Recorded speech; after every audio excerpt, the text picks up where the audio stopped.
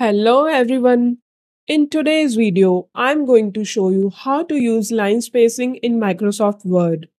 Whether you're polishing a resume or formatting an academic paper, understanding line spacing is a key. So let's get right into it. We will start with the basic method using the ribbon and then move on to a more detailed approach using paragraph dialog box. To begin with, I will navigate to the Home tab on the ribbon, then click on the Show Hide button. This is optional, but I recommend it since it reveals hidden formatting marks like paragraph breaks, which can impact how line spacing looks.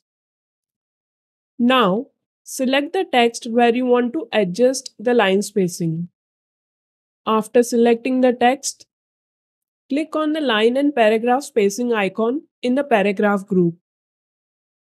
A drop-down menu will appear. Here you can select from several spacing options like 1.0 which is single spacing up to 3.0 which is triple spacing. You can also adjust spacing before and after paragraphs without changing the spacing within the paragraph. These three options change the spacing based on your current font size, with 1.0 equating to single spacing. Immediately after your selection, the changes will apply. So you can see how the spacing alters the look of your document right away.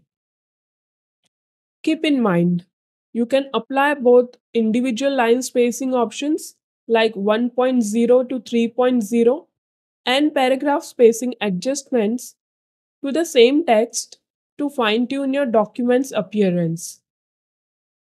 I will click on the Show Hide button again to hide the formatting symbols. Now let's explore the next method using the paragraph dialog box. Head back to the Home tab on the ribbon. I will click on the Show Hide button Select the text where the line spacing needs adjustment. Next, click on the dialog box launcher, a small diagonal arrow in the lower right corner of the paragraph group. This section opens the paragraph dialog box. In the dialog box, focus on the spacing section. In this section, you will see the before and after boxes to adjust spacing above and below paragraphs, measured in points. Each point equals 172nd of an inch.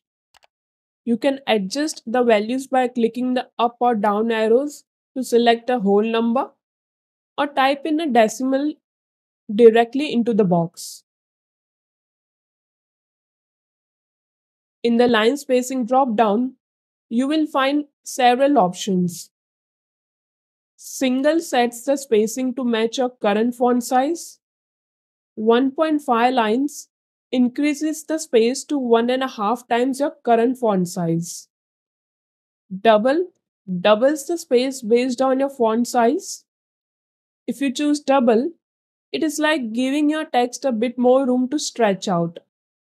Think of it as a yoga for your words. At least sets a minimum space determined by the point value you enter in the At box. Exactly specifies a fixed spacing between the lines set by the points entered in the At box. Multiple multiplies the line spacing by the number you input into the At box. For instance, if you enter 3 in the At box, the space will be 3 times that of the single spacing.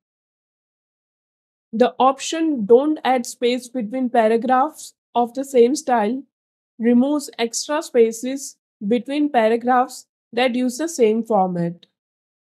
This can clean up the look of most documents since they typically use a consistent paragraph style throughout. As you make these changes, watch the preview box to see how they will look in your document. When satisfied with the settings, click OK to apply them. Before we wrap up, let's have a quick look at how to single space an entire document efficiently. To begin, select the entire document by pressing Ctrl A. Just a heads up, using Ctrl A selects everything. In more complex documents, this includes elements like headings and tables, which you might not want to change. So always double check what's selected before applying spacing changes. Then reopen the paragraph dialog box. And for a clean single spaced look, set both the before and after spaces to 0 and choose single from the line spacing menu. Confirm by clicking OK. I hope you found this video helpful. If you did, please hit the like button and subscribe to the channel. If you have any questions or suggestions for topics you want me to cover, please drop a comment below. I'll catch you in the next video. Take care.